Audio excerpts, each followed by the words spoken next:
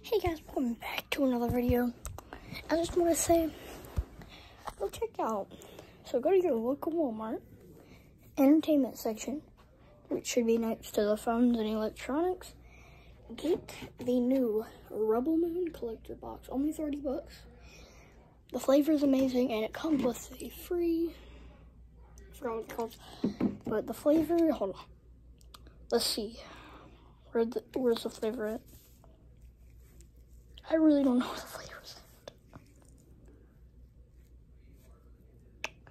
It's berries. It's something about berries. I think.